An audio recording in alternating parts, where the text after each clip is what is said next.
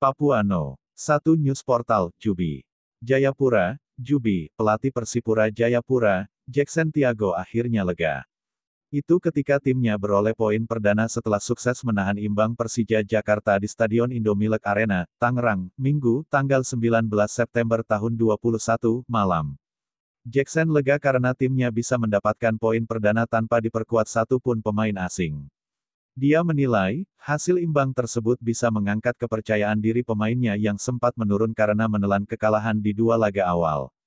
Sebuah pertandingan yang cukup menarik, kedua tim berusaha meraih kemenangan dengan masing-masing kemampuannya, meskipun kita tidak diperkuat pemain asing tapi mereka mampu menampilkan permainan menarik.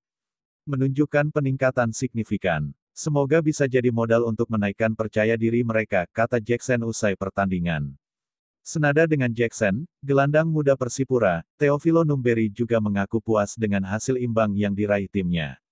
Satu poin tersebut menurutnya jadi bekal positif menuju laga selanjutnya.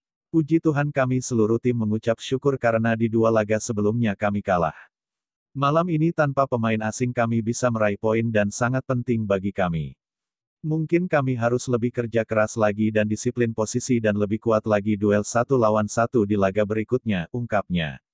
Sementara itu, Pelatih Persija Jakarta, Angelo Alessio tak menduga Persipura tanpa pemain asing bisa menahan imbang timnya. Bahkan Alessio juga mengaku timnya kesulitan meladeni permainan cepat skuad Mutiara Hitam. Namun, pelatih asal Italia itu mengakui jika pertandingan Persipura kontra Persija sangat menarik karena kedua tim sama-sama ngotot.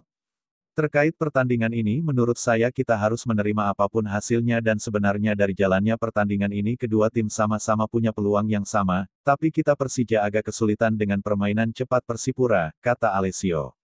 Gelandang Persija asal Nepal, Rohit Chanda juga mengomentari permainan cepat Persipura. Kurang lebih komentar saya sama dengan pelatih dan kita harus menerima hasil imbang karena kedua tim sama-sama punya peluang tapi kedua tim juga memiliki pola serangan yang sama dari lini sayap dan permainan yang cepat, ujar Rohit. Hasil imbang yang didapat Persipura itu belum mampu mengangkat mereka dari juru kunci klasemen sementara BRI Liga 1 2021. Persipura baru mengumpulkan satu poin saja dari tiga laga yang sudah dijalani. Terima kasih sudah nonton jangan lupa bantu subscribe like komen dan share ke teman-teman lainnya. Wah, wah, wah.